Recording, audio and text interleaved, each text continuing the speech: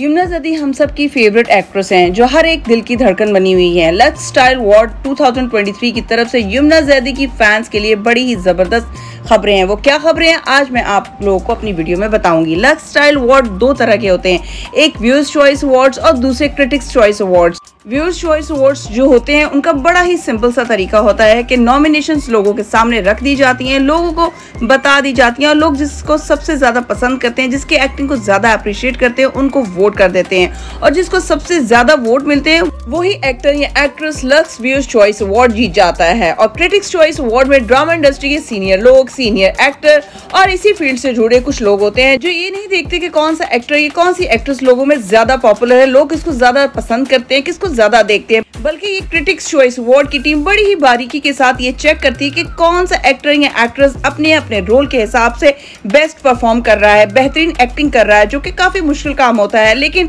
जज ही ऐसे बनाए जाते हैं जिनकी सारी ज़िंदगी ही इसी फ़ील्ड में गुजर जाती है तो वो लोग ये काम बड़ी ही बखूबी से कर देते हैं। तो यमुना जैदी के फैंस के लिए बड़ी खुशखबरी ये है कि व्यूज़ चॉइस अवार्ड और क्रिटिक चॉइस अवार्ड दोनों ही इस साल यमुना जैदी को ही मिले हैं और इस बात में कोई शक नहीं की यमुना जैदी ये अवार्ड डिजर्व भी करती थी।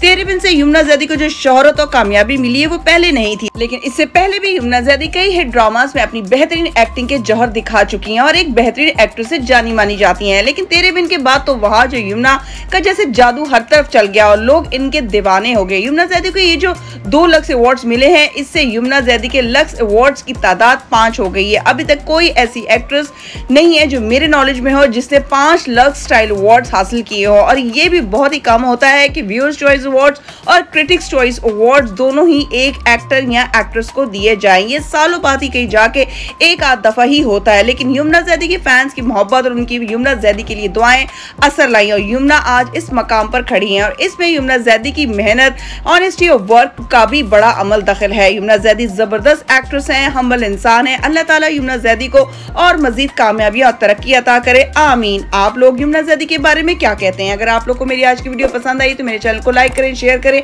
और सब्सक्राइब करें। और आने वाली मजीद वीडियोस के लिए मेरे बेल आइकन को प्रेस करना हर किस्मत भूलें।